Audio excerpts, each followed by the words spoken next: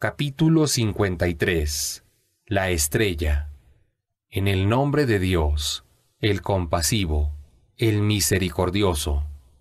Juro por la estrella cuando desaparece que su compañero no se ha extraviado ni está en un error, ni habla de acuerdo a sus pasiones. Él solo transmite lo que le ha sido revelado, aquello que le enseñó el dotado de poder y fortaleza, cuando se le presentó en su forma verdadera en lo más elevado del horizonte, y luego descendió y se acercó a él, hasta una distancia de dos arcos o menos aún. Entonces Dios le inspiró a su siervo la revelación. El corazón no desmintió lo que había visto. ¿Le van a discutir sobre lo que vio? Sepan que ya lo había visto en otro descenso, junto a la Sufaifo que demarca el límite, donde se encuentra el jardín de la residencia eterna cuando el azufaifo lo cubrió lo que lo cubrió, y su mirada no se desvió ni se propasó, porque contempló algunos de los signos más sublimes de su Señor. ¿Cómo es que adoran a los ídolos Lat, Auza y Amanat? La tercera, para ustedes los hijos varones y para Dios las hijas mujeres. Esa es una división injusta.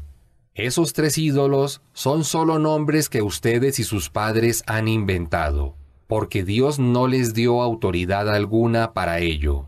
Los idólatras solo siguen suposiciones impulsados por sus propias pasiones, a pesar de haberles llegado la guía de su Señor. ¿Acaso cree el ser humano que obtendrá todo cuanto ambiciona? A Dios le pertenecen en esta vida y la otra ¿Cuántos ángeles hay en los cielos cuya intercesión no servirá de nada, salvo que Dios lo permita en favor de quien Él quiera y de quien esté complacido?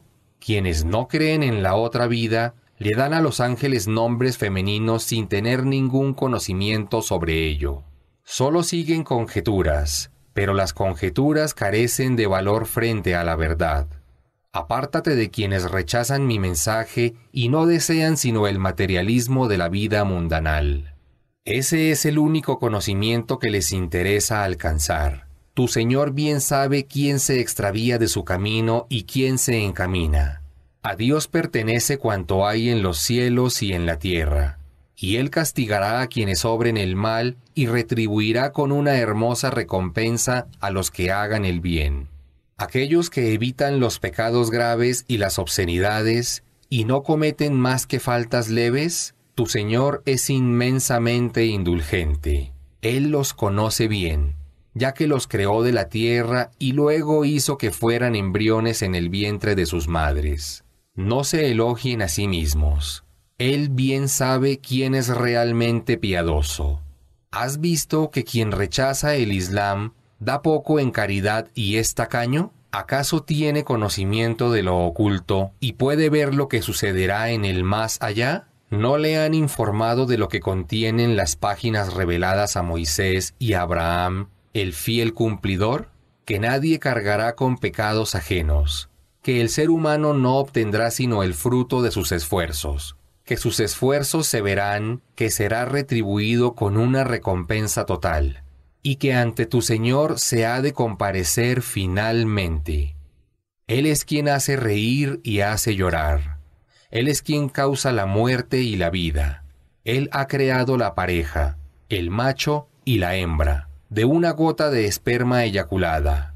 Él es quien los creará por segunda vez. Él es quien concede la riqueza y la pobreza. Él es el Señor de Sirio.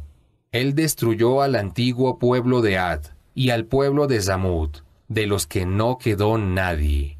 También lo hizo antes con el pueblo de Noé, pues ellos eran más injustos y transgresores. Y a la ciudad que cayó al revés, y la cubrió lo que la cubrió.